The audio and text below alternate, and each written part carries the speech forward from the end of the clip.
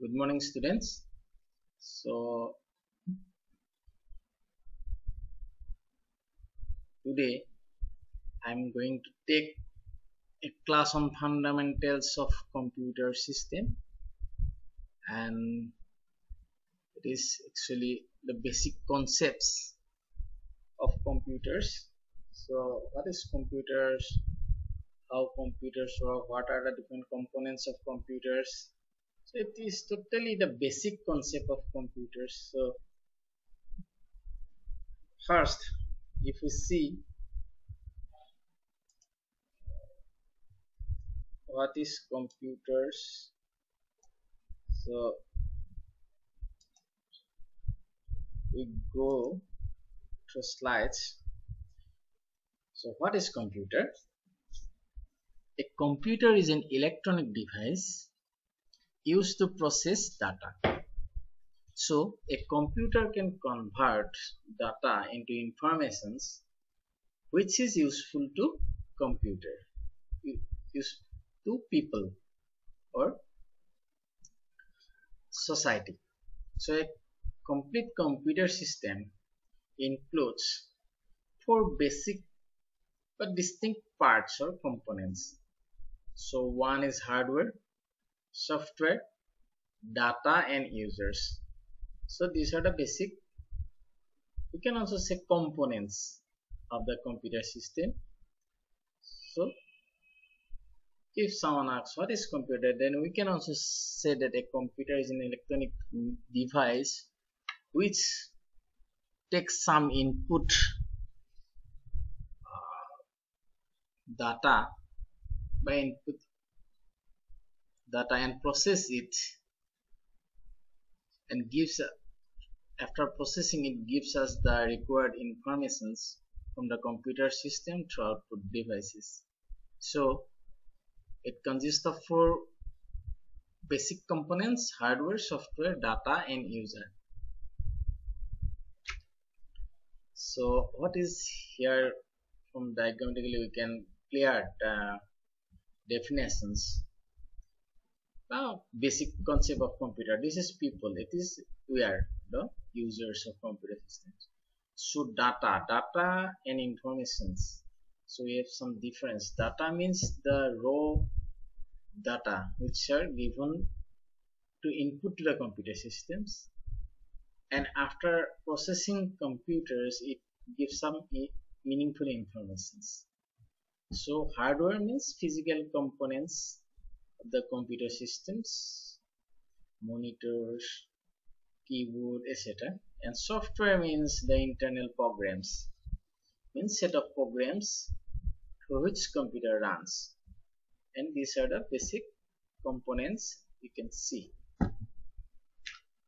Now hardware. A hard a computer's hardware consists of electronic devices. The parts physical components or physical parts we can see and touch. So the term device refers to any piece of hardware used by the computer system such as keyboard, monitor, modem, mouse, etc. So these are nothing but some hardware. So it consists speaker, modem, microphone, RAM, mouse, CD-ROM, drive, ports, lots of different physical components of computer is known as hardware through which you can see, you can test. So this is these are nothing but computer hardware and now software. So software also known as programs. So it consists of organized set of instructions for controlling the computer system. So a software is a set of programs through which computer runs. So some programs exist for computers use to help it manage its own tasks and devices. Some other programs exist for users and enable the computer to perform tasks for us such as creating documents, creating slides, doing some calculations. So this different categories of software we have so what is data data consists of raw fact which is which the computer can manipulate and process into informations that is useful to people by users. So computerized data is digital, meaning that it has been reduced to digits or numbers. The computer stores and reads all data as numbers. So digital means it consists nothing but binary bits 0 and 1. So computer understand only 0 and 1 which is also known as machine language. So all the computers use data in digital form. They convert data into forms which people can understand such as text, numerals, sound, images. So users. Users people are computers operator or users. Some types of computer can operate without such interventions from people but personal computers are designed specifically for use by people. So users means we are through general common people or different categories of users we have in computer systems later uh, we have we have to introduce different categories of users. Now computer if we see the computer architectures then we have following components or following units types of hardware the CPU that is central processing unit the brain of the computer system memory the storage area where data or information are stored how memory is measured input output devices storage computer can take data from out, outside world and it process and it gives out the required information or result from the computer to output devices to storage devices etc etc so Types of hardware. If you see, a computer's hardware device are categorized as follows. If we see the hardware, so we have processors, that is CPU, memory, storage device, input output devices, storage storage devices. These are different categories of hardwares. So these are the hardwares. Input output their memory, processor, input storage area these different pen drives so output that is from monitors printers so these are binary bits these are the physically the image or physical concept different physical okay, hardware now CPU the main brain of the computer system this is CPU so the procedure that transform raw data into useful information is called processing. So what is processing? That means raw data transformed to useful information with the help of processor that is processing. This function is divided between computers, processors and memory. So the processor is also called a central processing unit CPU. It manages all devices and performs the actual processing of data. So the CPU consists of one or more chips attached to the computer's main circuit board motherboard. So that means CPU is a brain of computer systems. So it is the processor, it is also termed as processor through which computer system is managed, controlled, or the operations so that computer system do it smoothly. So this is the this is about the CPU, central processing unit. Then memory unit so memory is also consist of chips attached to the motherboard so memory means where the, the area where information and data are stored temporarily or permanently so memory holds data and program instructions as the CPU works with them so this memory is known as RAM random access memory the CPU can find any piece of data in RAM when it needs for its processing so RAM is volatile meaning it holds data only when power is on. So when is when the power is off, RAM's contents are lost. So this basic about the memory. So it is important unit of the computer system. Next we see how memory is measured. So how memory what what is the unit to measure the memory? The smallest usable unit of memory for measure of memory is the byte sometimes it is bits so the amount of memory required to hold one character like character a or numeral 2 so computer works with large chunk of data measured in multiple bytes. So if you see bits bits means either 0 and 1 that means 1 bit. So uh, computer understand only binary uh, that is binary numbers that is digits only 0 and 1 so at the time um, one flip one device which is flip-flop. So flip-flops is the basic blocks of computer's memory. So in one flip-flop at only one in one time only one bit is actually stored. So when 8 bits are combined it becomes one byte. And computers work with large of then one and lots of bytes 100 bytes combined or in actual bytes value 1024 bytes it become kb kilobytes. Again 1024 kilobytes it become megabyte.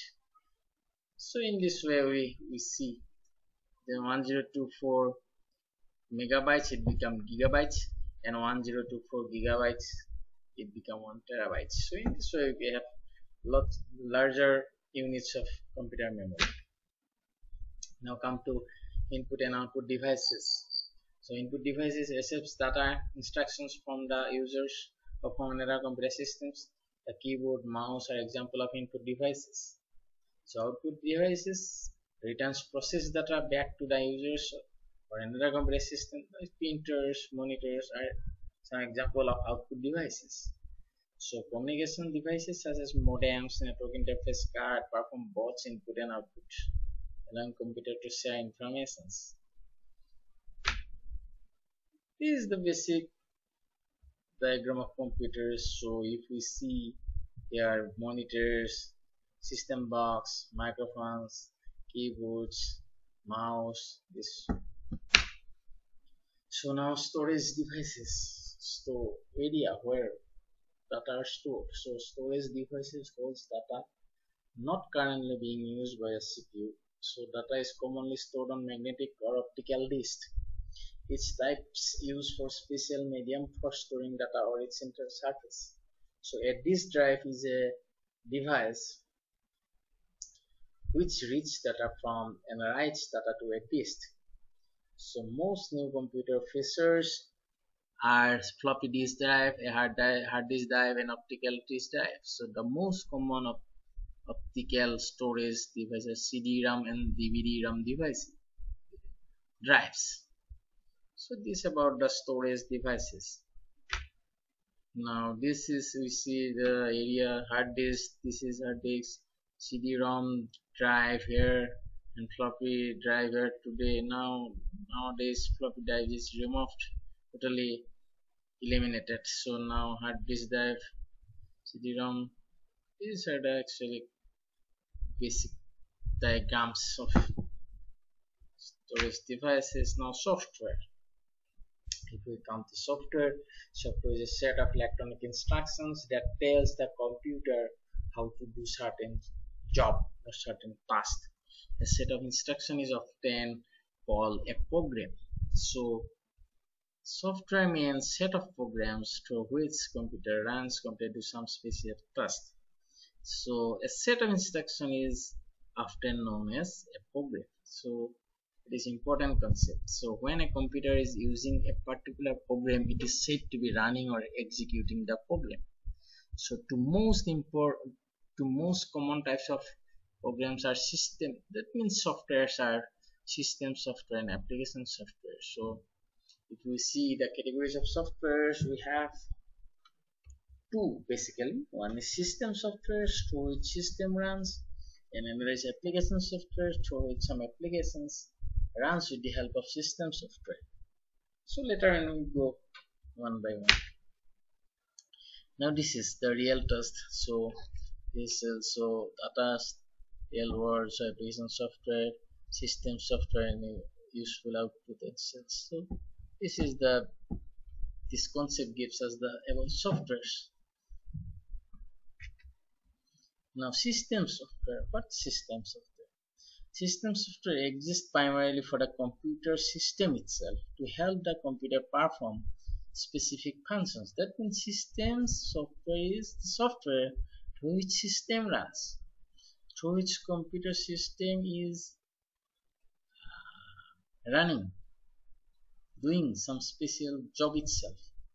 So one major type of system software is nothing but operating system so different operating system windows linux unix these are nothing but system software. All computers require an operating system. Without operating system how computer work? So the operating system tells computer how to interact with the users and on own devices. So common operating system windows macintosh unix linux these are this type of. Now application software means application software tells the computer how to accomplish specific tasks. A user requires such as creating documents editing a graphic image some important application software is word processing.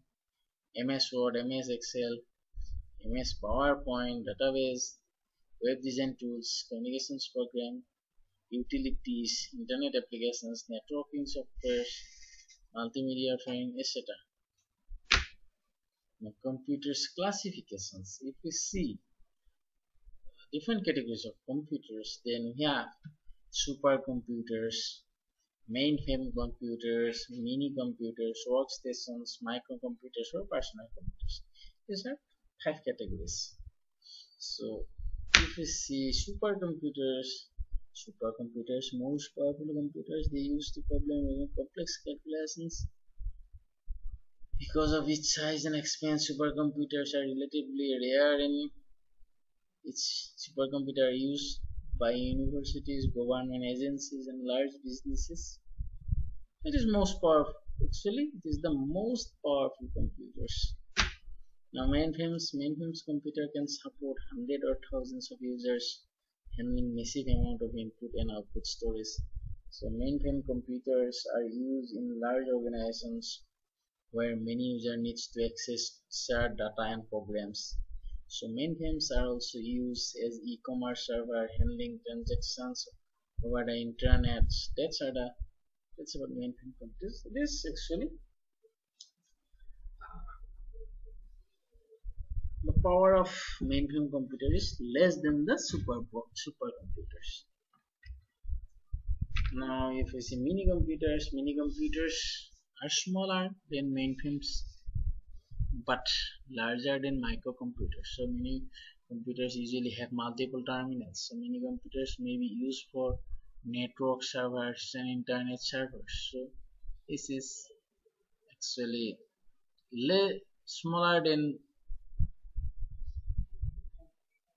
mainframes computers but larger than mini microcomputers. So if we see workstations so workstations are powerful single user computers. Uh, whatever we use in our labs etc workstation are used for tasks and require great deal of number processing power such as product designing computer animations. So workstation are often used as network and internet servers so sun workstation etc finally microcomputers pc what we are using in our labs laptops so microcomputers are more commonly known as personal computer, the PC applied to IBM PC com compatible computers. So full-size desktop computer is most common type PC.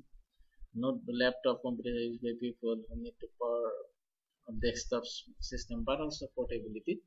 So these are example of microcomputers. So how computer represents data? It is important. So we know that computer understands only ma machine language that is binary numbers. So the binary numbers, the binary number system, bits, bytes, text code, etc. So if we see binary numbers, so computer processing is performed by the transistors which are switched with the help of two possible state on and off. So all computers data is converted to a series of binary numbers 1 and 0 which is known as machine language for example you see sentence as the collector of letters but computer sees such letters as collection of ones and zeros. So if a transistor is assigned a value of 1 it is on. If it is assigned a value 0 it is off. So a computer's transistor can be switched on and off millions of times each second now binary number system the to convert data into string of number computer use binary number system.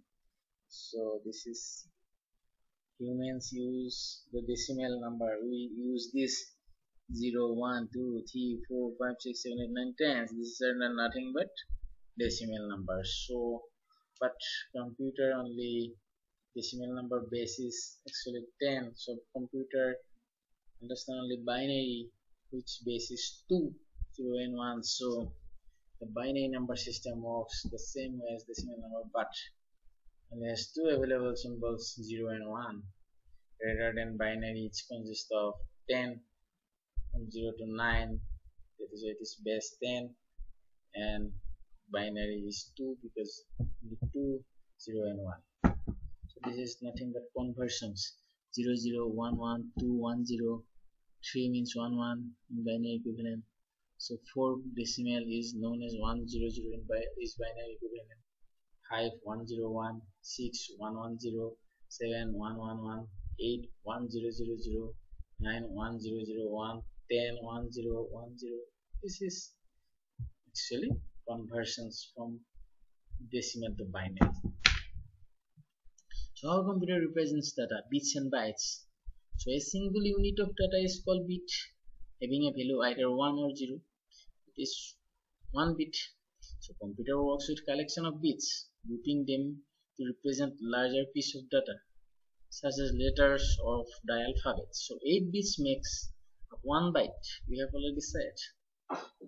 A byte is the amount of memory needed to store one alphanumeric characters. So one characters needs one byte to store a one character. So it is 8 bits. So one hmm. with one byte the computer can represent 1 up to 56 different symbols or characters. So this is how we one bit. So one on on on. That is one 8 bits. That means all 8 are ones it beats one byte. So that is one means all are one. You see so how computer yes how computer represents data? Text code. So text code is a system that use these binary numbers 1 and zeros to represent characters understood by humans. That means letters and numerals are actually text code that human understand but computer understand and ones so it's some coding scheme so that whatever we input as text code by user it must be converted to its equivalent binary form. So an early text code system is called EBCDIC EBCDIC use 8 bits code but is used primarily in order in older mainframe systems the most common text code set is ASCII. That is American Standard Code for Information Interchange. ASCII means so each character consists of 8 bits, 1 byte of data. So ASCII is used in nearly all personal computers. We generally use ASCII code. So another Unicode text is Unicode text code that is its character concept 16 bits. That means 2 bytes of data. So these are nothing but text code how computer represents data. Next a simple example of ASCII code. So 0 means this 1 this. So A capital A means this. ASCII code equivalent B is in this way we have each character we have given an ASCII code of this. Now how computer process data? So where processing occurs? So the we have no we have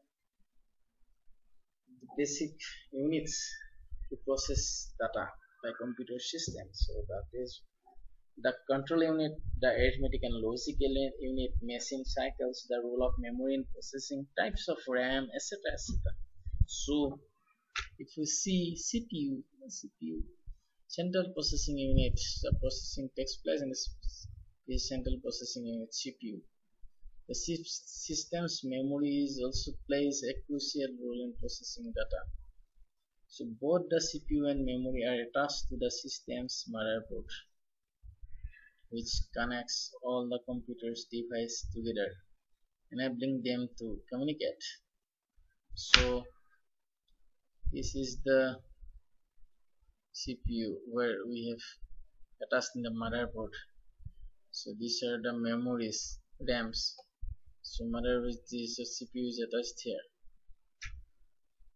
Now control unit the two main part of CPU is one is control unit CU and another is arithmetic logic unit ALU. The control units direct the flow of data through the CPU to and from other devices and the control unit stores the CPU's microcode which contains the instructions for all the tasks the CPU can perform. So these are the actually the, as a whole the scenario. So input devices and this is the CPU consists of two control unit and arithmetic logic unit and output devices attached with the control unit and memory and storage is these are the units and other units. So as a whole this is the basic block diagram of computer system. So the arithmetic logic unit the actual manipulation of data takes place in the ALU arithmetic logic units. That means addition different operations. So ALU can perform arithmetic and logic operation addition subtraction multiplication divisions. So ALU is connected to a set of registers small memory area and the CPU registers means small memory area of CPU where temporary data are stored.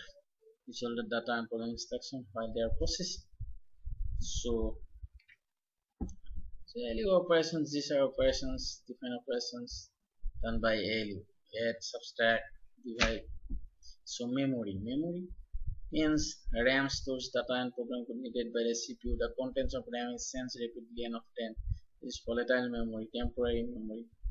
Read-only memory. ROM is non-volatile. That is permanent. It holds instructions that ram the computer when power is first turned on.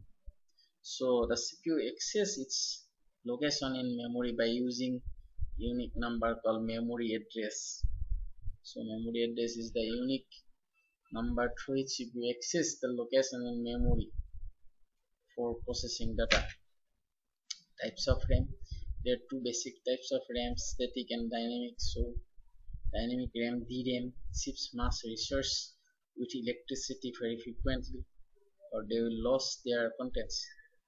A static RAM SRAM does not need to be resourced as often as DRAM and it can hold its contents longer. So another type of RAM is called flash memory which can store its content after power is turned off. So flash, flash memory is used in digital camera to store pictures. So different categories of RAM we have we will get later on. So these are the RAMs. So these are the RAMs. These are address bus, motherboard, CPU, data bus, ROM, this drive scenario. Now another category of memory is cache memory. So cache memory is high speed memory which holds the most recent data and instructions that have been loaded by the CPU so it is fastest memory. So cache is located directly on the CPU or between the CPU and RAM making it faster than normal RAM. So CPU resident cache is called level 1 L1 cache external cache is called level two L2 cache. The, the amount of cache memory has a tremendous impact on computer speed. That means cache memory is very important component. So this is the cache. So CPU and this is RAM. So between them cache. CPU and CPU. This is cache. So this is different categories of caches. Now operating system. So we have operating system manages all other programs that runs on PC. So operating system provides services to programs user including file management, memory management, process management, printings to provide service to programs the OS makes system calls requesting other hardware and software resources to perform tasks. So later on we'll have different uh, softwares on operating system. Different categories, different types of multitasking operating system. So the multitasking is capable of running multiple processes simultaneously. So multitasking OS lets you run multiple programs at the same time. So through multitasking we can do the different several jobs. So so different job operating system, files, scripted files, directories. So user can file management how how directories and file managed by the operating systems.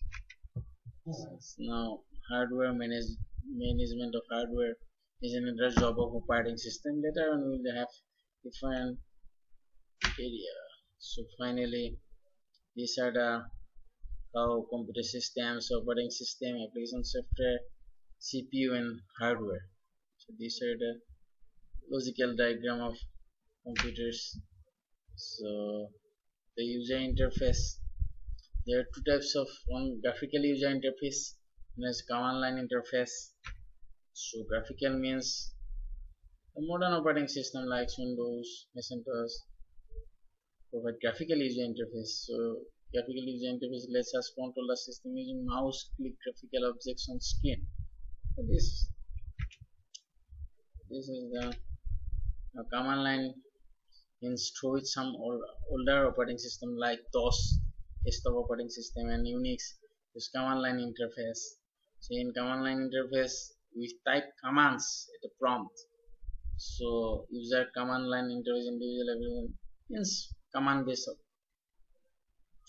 actually in operating system so database and management these are later on I think today stop here. Another in class another class I cover and other basic concept of fundamentals of operating system uh, computer system. So thank you thank you all